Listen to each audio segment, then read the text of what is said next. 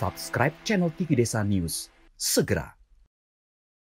Halo kerabat TV Desa, berikut saya akan membacakan berita pilihan redaksi dari TV Desa News Online. Kali ini berjudul Pelatihan Karang Taruna Desa Tugondeng.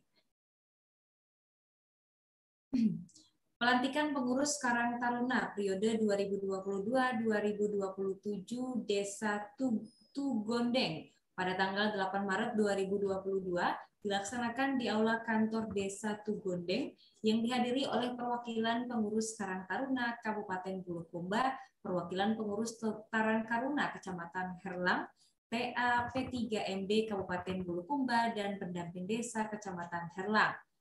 Amrianto, Ketua Karang Taruna Desa Tungondeng, menyampaikan bahwa sebelum terbentuknya Karang Taruna di Desa Tungondeng, banyak pemuda yang tidak kenal satu sama lain, sehingga dengan terbentuknya Karang Taruna pada hari ini sesuai dengan surat keputusan Kepala Desa, berharap besar dapat bermanfaat dengan menyatukan pemuda desa dengan serta menyatukan misi dan berkarya untuk bangsa dan negara, khususnya Desa Tumondeng.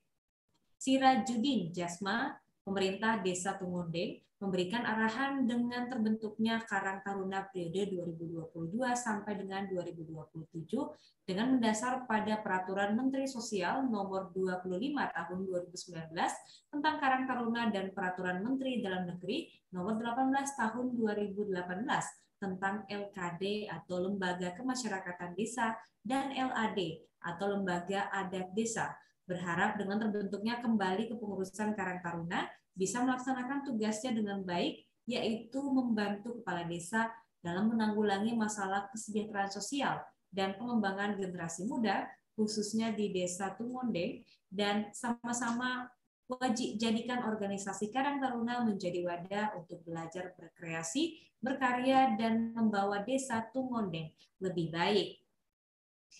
Baiklah kerabat TV Desa, berita tadi ditulis oleh Yaksan Mobile Jurnalis TV Desa. Sampai jumpa pada berita pilihan berikutnya.